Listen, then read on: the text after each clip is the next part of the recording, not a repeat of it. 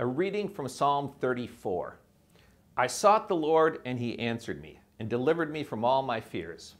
Look to him and be radiant, so your faces shall never be ashamed. This poor soul cried and was heard by the Lord, and was saved from every trouble. The angel of the Lord encamps around those who fear him and delivers them. Oh, taste and see that the Lord is good. Happy are those who take refuge in him. Brothers and sisters in Christ, grace and peace and love and joy and gladness and jubilation in the risen Lord be with you all. Now, brothers and sisters in Christ, as I preach to you today through this wonderful ministry of a sermon for every Sunday, I want you to know two things. First, I want you to know this good news. I sought the Lord, and he answered me and delivered me from all my fears. And second, I want you to know this promise Taste and see that the Lord is good. Happy are those who take refuge in him. I'm preaching today on Psalm 34, which may seem strange. Some pastors don't preach on the Psalms or they find it awkward, but I don't. And it isn't just because I'm a professor of Old Testament who specializes in the Psalms. I find it easy to preach on the Psalms because they are the songs that God has given me to be the soundtrack for the imaginary drama of my life. You know how there are musical soundtracks for TV shows and movie dramas. If my life, and I hope yours, had such a soundtrack, the music and words would be provided by the Psalms. Here's an example of that from my son Gunnar. Eight years ago, Gunnar was only about five or six years old, and uh, I live in Minnesota, the land of 10,000 lakes, and I bought a used boat. I because I grew up in Minnesota, I always wanted a boat. And so about eight years, my wife, eight years ago, my wife said that uh, I could have a boat. So I bought a, a used uh, speedboat. And the first time I took my young son Gunnar out on it, it was a beautiful day. It was 80 degrees. There was a few wisps of cloud in the sky. There was a bald eagle flying that lives on the lake uh, where we go. And uh, Gunnar, because he was a young boy, said, well, how fast will this boat go? And because I also am a young boy, I said, let's find out. And so I jammed the throttle forward and the nose of the boat kicked out and then it planed out perfectly. And there was just an exhilarating moment of being in God's good creation. And my son Gunnar stood up and he searched back in his memory for some sort of sound that could, that could give expression to the emotions he felt like. And he said, Hallelujah.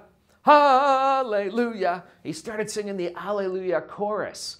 And uh, I thought about that later, and I thought, he didn't learn that at home because we don't really play classical music at home. We play mostly, you know, country and folk and bluegrass on, on our devices at home. And I thought he learned that at church. He, he went to church, to church music school, and to worship, and there he learned the Psalms, to sing the Psalms. And when he needed a, bit of music that could express what he felt like to be in God's beautiful creation, he's saying, Alleluia. The Psalms give us the words of praise to sing or say when life in God's creation is beautiful. Hallelujah, we say. Praise the Lord, God is good. But the Psalms also give us the words of pain to cry out to God when life is awful and frightening. Jesus said, My God, my God, why have you forgotten me on this, uh, when he was on the cross? And here's one I give to a lot of people the first line from Psalm 69 Save me, O Lord, for the waters have come up to my neck. The Psalms also give us the words of trust for when we are scared and want to claim the promise of God's presence. The Lord is my shepherd, I shall not be in want. I fear no evil, for you are with me, your rod and your staff, they comfort me. Or from Psalm 27, the Lord is my light and my salvation, whom shall I fear? Think with me for a moment about that image of the water coming up to one's neck in Psalm 69. Save me, O Lord, for the waters have come up to my neck. Isn't that both a powerful and beautiful but terrifying image? I think everyone can relate to a moment in life when the figurative waters of life's troubles had, had come up to the neck and stretching out, you just thought, you know, the waters are up here. I can't take one more thing. I, am barely hanging on and keep on going. I've been there many times, many times in my life, brothers and sisters.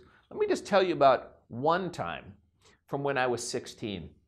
I had a time when the waters had come up to my neck, and I couldn't take one more thing. And then one more thing happened, and then another thing happened, and I was at my wits' end. And what I did, of course, in the words of Psalm 34, was I sought the Lord, and he answered me and delivered me from all my fears. The time was this I was 16, year old, 16 years old, and back when I had been 15 years old, I lost my right leg to bone cancer. It happened suddenly. On November 16, 1980, my right leg was diagnosed as having a tumor. I cried to the Lord.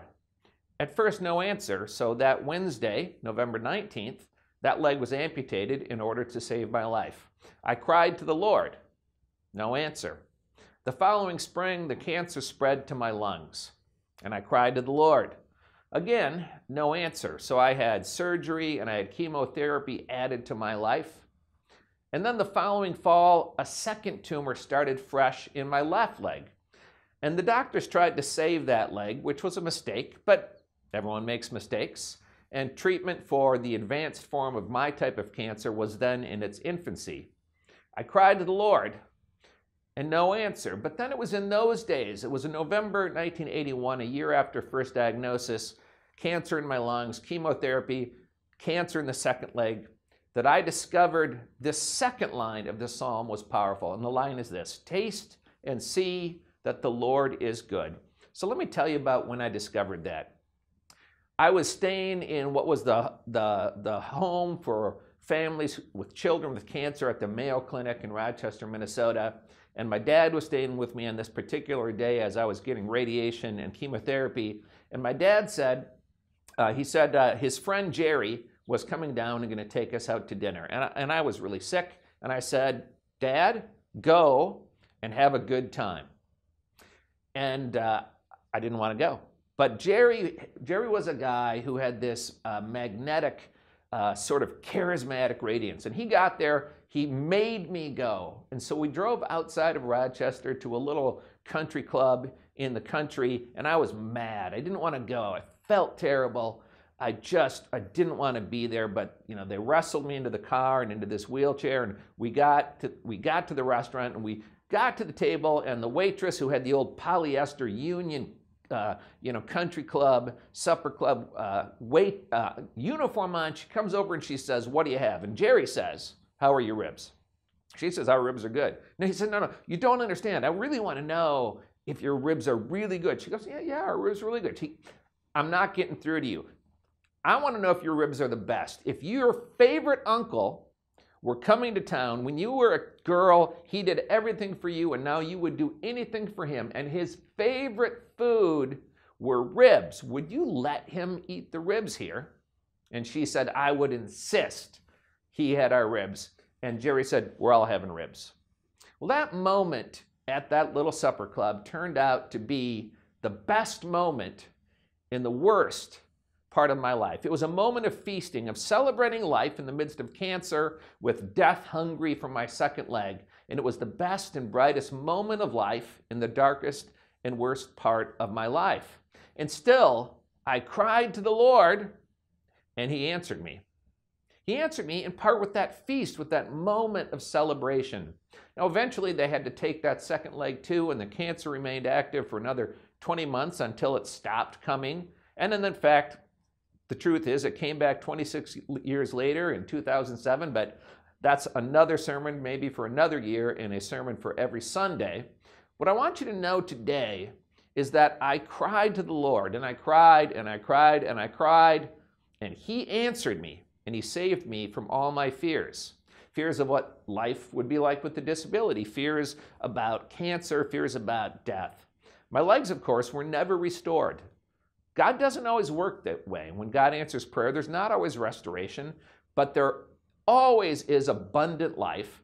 And I was restored, not physically, but restored to a full life, a joyful life, and I hope a servant life for others and rescue from fears that I held in 1981 turned out for me so that I can tell you that it can be a great life to have a disability. It can be a fantastic life, a full life, to live in less than a full body.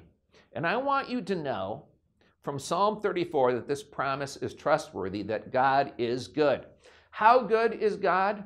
Well, taste and see. God is as good as the best ribs ever on an autumn night in Minnesota.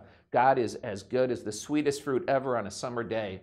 God is as good as that sip, first sip of coffee in the morning or that first sip of wine in the evening. God has promised us His presence in our lives in the middle of our suffering so that in our despair we can cry out to God and He will answer eventually. And God has given us this abundant creation as a sign of God's goodness. So, from time to time, the people of God must feast. We must feast together as churches. We must feast individually. We must feast on our own birthdays. We must feast on Christ's birthday. As a church, we must feast on the birthday of the church when we celebrate the Spirit's outpouring. We feast together at Easter, the victory of life over death.